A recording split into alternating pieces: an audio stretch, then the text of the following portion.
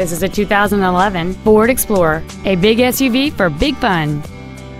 It has a 3.5-liter six-cylinder engine and an automatic transmission.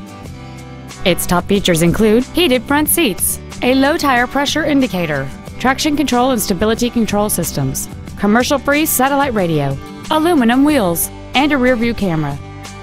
The following features are also included adjustable driver pedals, memory settings for the seat's positions so you can recall your favorite alignment with the push of one button, cruise control, a premium sound system, leather seats, performance tires, a rear spoiler, a passenger side airbag, air conditioning with automatic climate control, and this vehicle has fewer than 29,000 miles on the odometer.